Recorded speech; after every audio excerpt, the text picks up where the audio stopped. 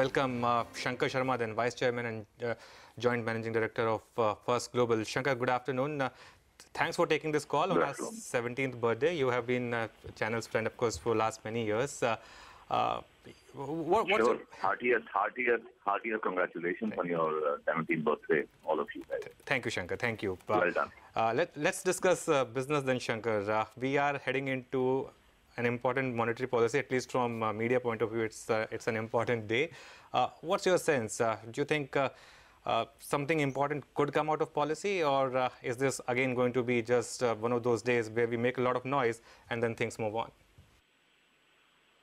No, no, I think I think they will probably beat the consensus of 25 basis points. My sense is they will give you 50 basis points. So I think they have to really, uh, you know, if they have not understood till now that there is severe damage to the economy, then I don't know when they will understand. And I'm sure there are enough intelligent people in the government and in the RBI to understand that this thing has gone spun way out of control, and they need to at least, you know, try and you know right the wrongs to some extent. And I think where the policy instrument that is available is a rate cut, as far as RBI is concerned, which is a blunt instrument, but they will have to do the best with what you know whatever instruments they have. So I think 25 basis points might be uh, definitely beaten. Okay, so expect a 50 basis points rate cut today. Uh, Shankar, hi, good afternoon. So that would mean that the RBI is expecting a bigger growth shock to the, you know, to the economy because of demonetization.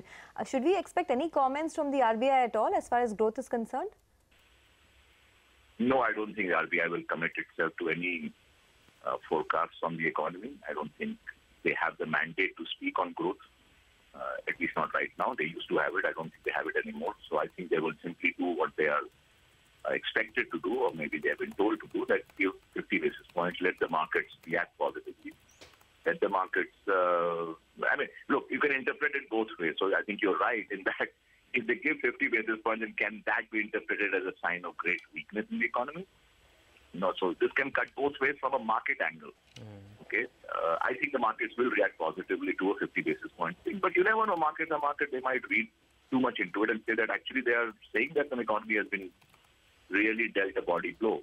But be that as it may, I think they will they will give us 50 basis points. That I mean, my my my take, my gut feel is that definitely, Okay, uh, you know, they will try to surprise us.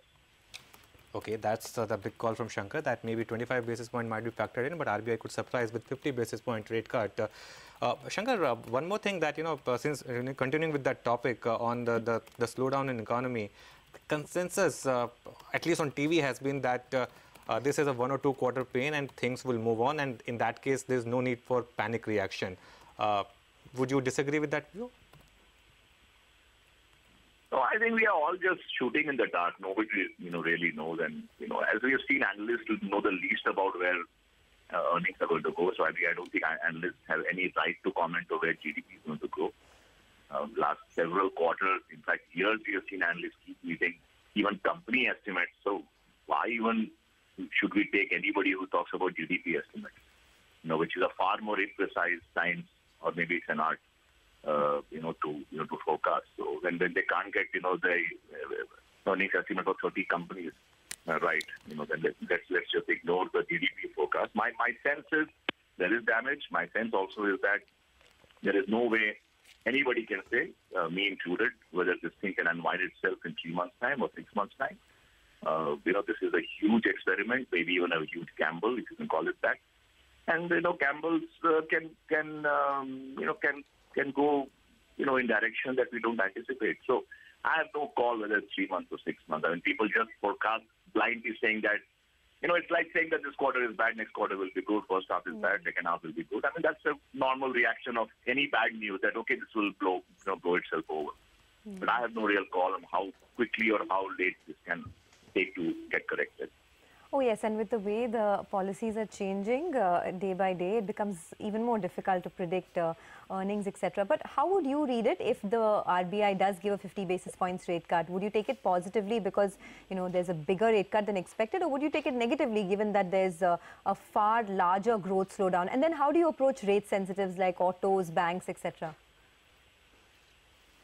I think uh, so. My sense is markets will react positively, and markets have been beaten down lately, and quite rightly so too. So I think there is a relief rally uh, in the woodwork, and I think that requires a catalyst of a 50 basis point cut, which I think we will get.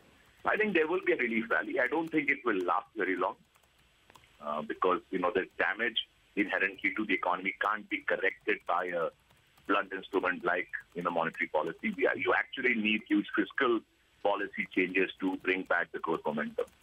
Uh, so I don't think the RBI has the tools to really correct the wrongs that have been done to the economy.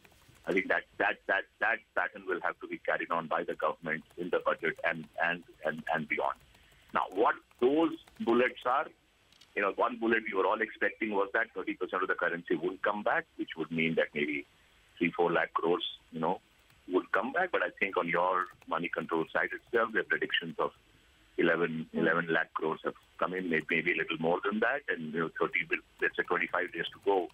You know, who knows? I mean, maybe even the fake currency guys are having a field day, you know, uh, rotating their money back into the legitimate account. So you don't know. You might get 14 lakh, you might get a tag less, you might get even 50,000 crores more than that, which then limits the room for a big windfall uh, to be handed over to people. So that is the other problem. So to correct problem, I don't think rate cuts are enough. We have seen rate, rates have been trending down for the last two, two and a half years, correct?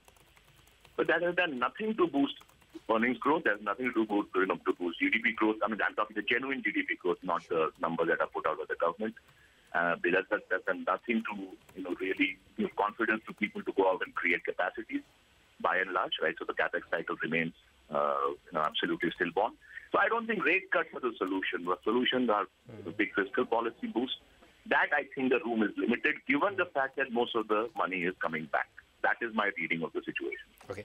Uh, Shankar, I know you personally don't like banks as a business, but what have you made of the big PSU bank rally? Because the only sector which has done well since demonetization day actually is uh, is the PSU banking sector.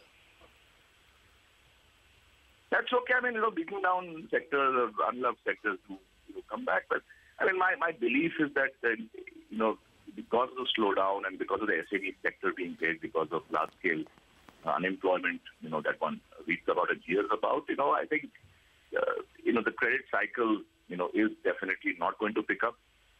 And in fact, you may have a little bit of uptick in the NPAs themselves because, you know, suddenly your business has gone, gone to zero or near zero for large number of companies. I don't see how they can be servicing their loans in a hurry. So, you know, you have problems in the banking space, to put it mildly. They could be having a relief rally because of the rate cuts and all that, or the anticipation of rate cuts.